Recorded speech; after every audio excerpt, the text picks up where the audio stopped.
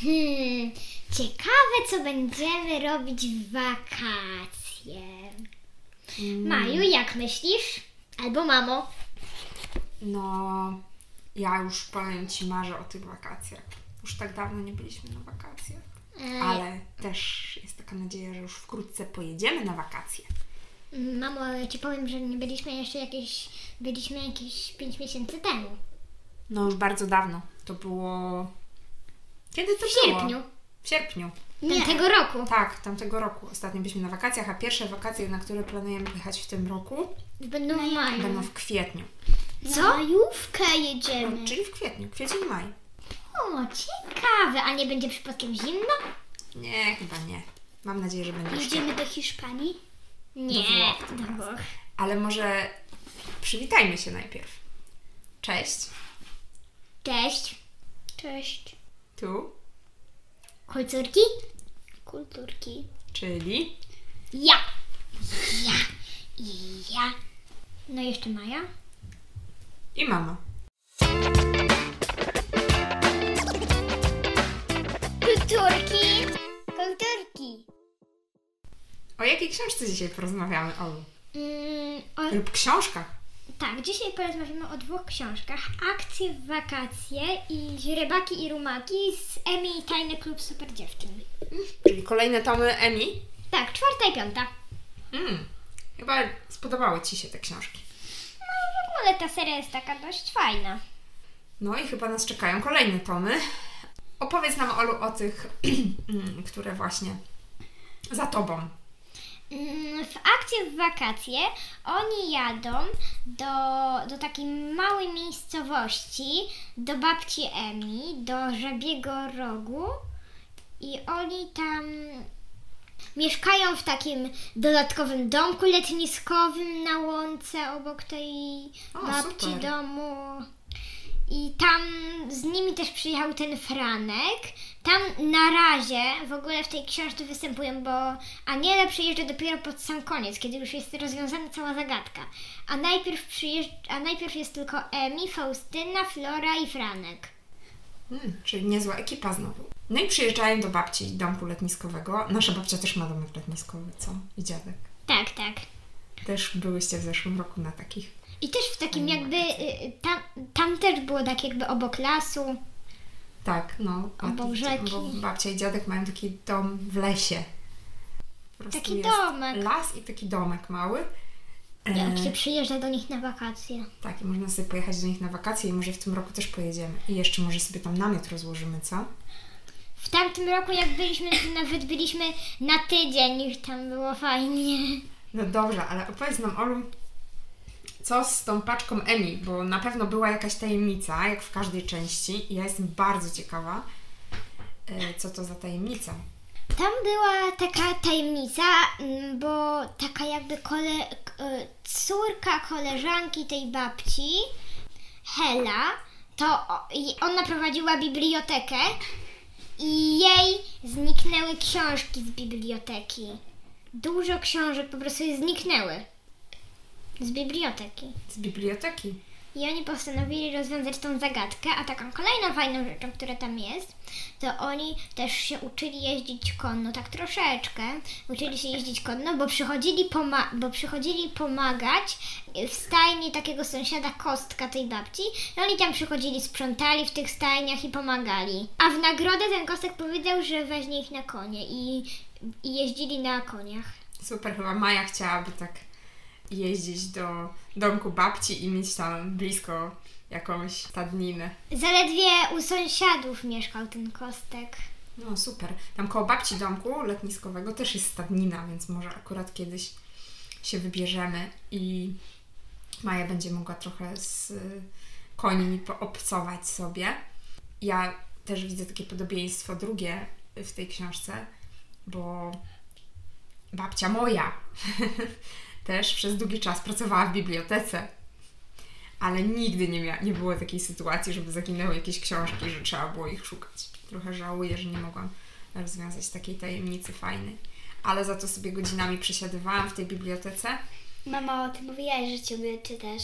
No właśnie i to było takie super, powiem Wam. nie wiem, czy to tak nie było, że wszystkie książki z półki dla dzieci i młodzieży w tej bibliotece na tamte czasy mm, przeczytałam, bo po prostu byłam tam codziennie y, u babci, praktycznie codziennie. Nie musiałaś nawet wypożyczyć, po prostu mogła ci babcia tylko wziąć na półkę i wiedzieć, które to są książki, które czytasz. Tak, ja sobie często po prostu brałam książkę z półki i sobie tam siedziałam w taka była czytelnia obok, tak? Były takie fotele. U nas w stoliki. szkole takie są. No właśnie, i tam sobie można było usiąść i nie trzeba było książki pożyczać do domu. I ja najczęściej tych książek nie pożyczałam do domu, tylko po prostu czytałam je na miejscu. Albo babcia na przykład ci mogła włożyć do jakiejś szuflady w biurku i wiedzieć, że to jest twoja i następnym razem, kiedy ty przyjdziesz i ona też będzie, no to po prostu ci da tą książkę. No. Nikt jej nie wypożyczy.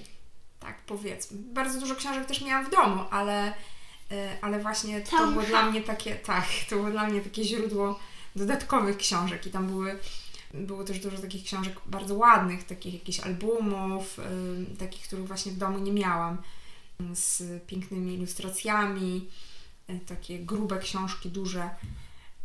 To... A kiedyś przeczytać taką książkę w jeden dzień? Myślę, że nie, Maju. Maja właśnie pokazuje, jakiej wielkości, grubości byłaby ta książka, ale myślę, że takiej książki w jeden dzień nie dałoby się przeczytać. Chyba, żeby miała same obrazki, byś tylko tak... Tak. Albo Bardzo- to by była komiksowa. Bardzo mnie interesuje, Olu, ta, ta przygoda zagubionych książek. Może nam coś jeszcze więcej opowiesz o I niej? że oni też tam poznają takich, takie dwójkę dzieci, Jasia i Małgosię. To takie ciekawe rodzeństwo, jak z bajki. Tak, tacy bliźniacy, tak. No i oni tam próbują to też rozwiązać, tą zagadkę. Oczywiście nie powiem, jak się kończy, ale to jest też takie ciekawe, że chyba w tej części albo w następnej właśnie chodzą też do lasu na y, zbierać jagody i borówki. A pamiętacie to? To jest taka- Jagoda, jagoda, poziomka, e, e, jedna poziomka, jagoda, jagoda, E, no tak, pamiętam. pstryk, pstryk, jagoda, y, pstryk, jagoda, pstryk, o, poziomka i jeszcze jedna. Tak, zbierali, tak? Jagody. Nie, nie, w to widzę akurat w książce, ale tak, e, to były też takie wakacyjne głównie przygody, takie jakie może, może, przeżyć tak naprawdę każdy. Robili tam szałasy nad rzeką, Wspaniale. budowali. Co jeszcze można robić w lesie właśnie, bawiąc się?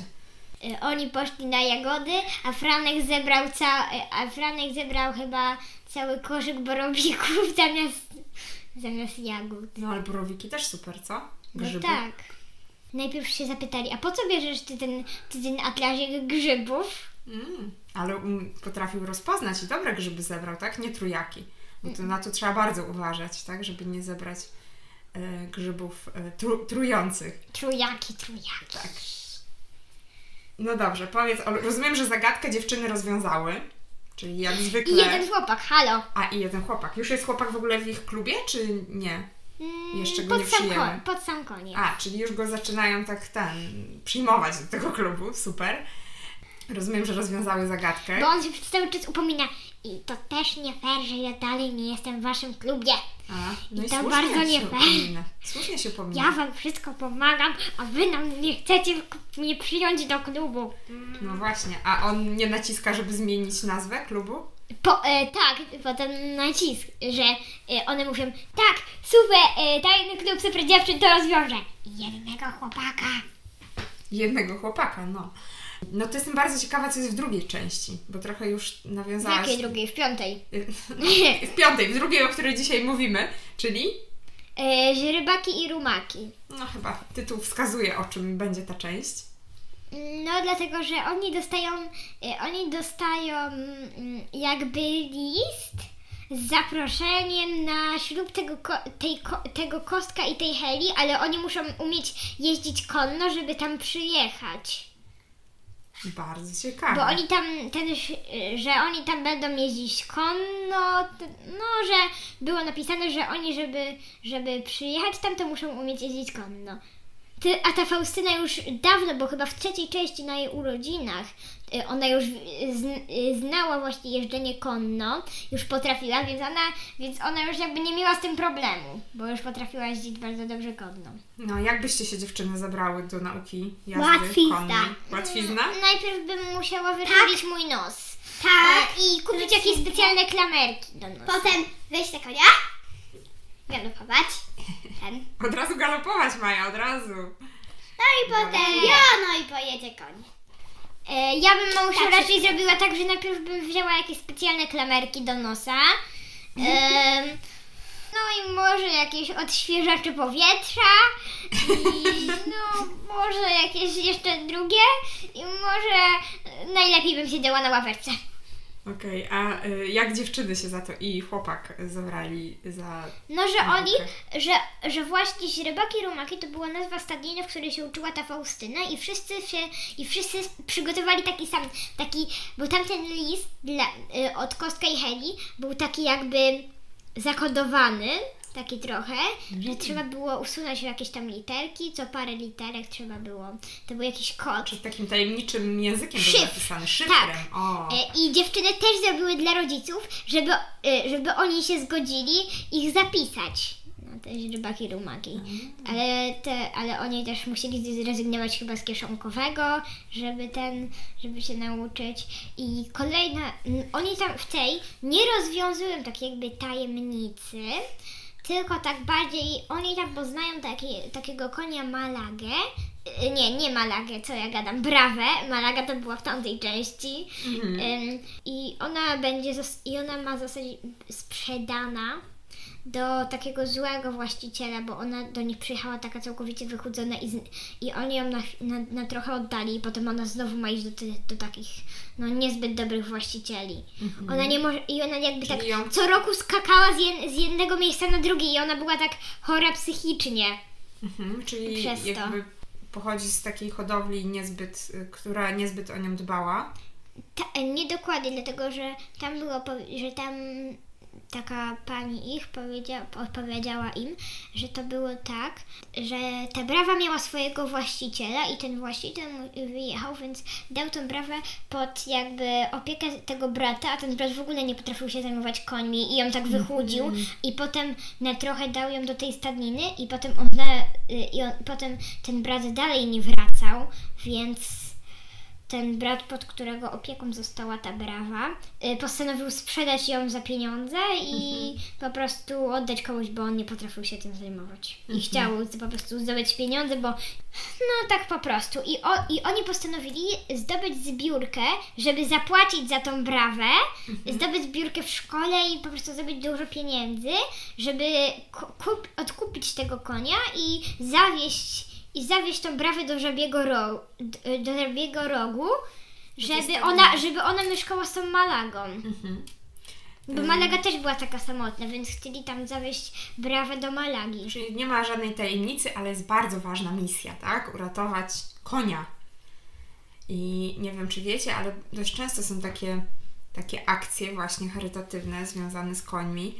Szczególnie jeśli ktoś, taki właściciel, który nie do końca potrafi się takim koniem zajmować, albo, albo który stwierdzi na przykład, że koń jest już mu niepotrzebny, bo jest na przykład stary, no to takie konie bardzo często są sprzedawane no, do, do rzeźni, w sensie, że na mięso. No to takie smutne, widzę, Maja się od razu tutaj posmutniała i jest zszokowana. Ale, ale tak jest i właśnie takie konie, bardzo często są takie akcje, żeby takiego konia wykupić, tak? Czyli żeby zebrać pieniążki i żeby on mógł jeszcze pożyć i dożyć tej starości takiej, bo przez całe życie zazwyczaj taki koń służył komuś i był takim mm, no, do, dobrym koniem. Niekoniecznie miał jakieś super fajne życie, ale, ale był dobrym koniem i mm, też dzięki takim akcjom można takiego konia uratować i sprawić, żeby chociaż miał taką końcówkę życia przyjemną i nie musiał już, już cierpieć. I też nie musiał pracować, tak? Bo to I też jest- musieli też całe swoje pieniądze z kieszonkowego resztę oddać na jakby pokarm dla tej brawy tam u tego kostka i tego, ale oni wszyscy się zgodzili, żeby temu koniowi, konikowi pomóc. No właśnie, więc Ten tak koń już dosyć był dużo taki starszy. prawda? Ten koń już był taki starszy dosyć. To był właśnie taki dobry odruch y, serca, prawda? Żeby pomóc takiemu zwierzakowi.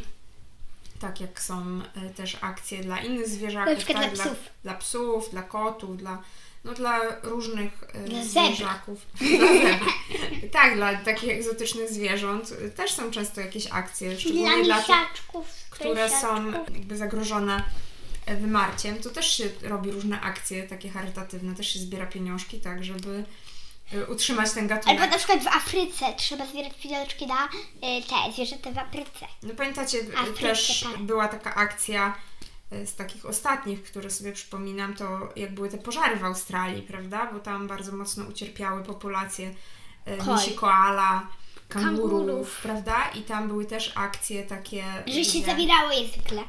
Nie no, że akurat my nie możemy tam pojechać i pomóc tak bezpośrednio, ale Ale że się oddawały pieniądze na to, żeby inni ludzie się jakby e, mieli dla nich pokarm, Tak. zaopiekowali się nimi, odbudowali dla nich te lasy.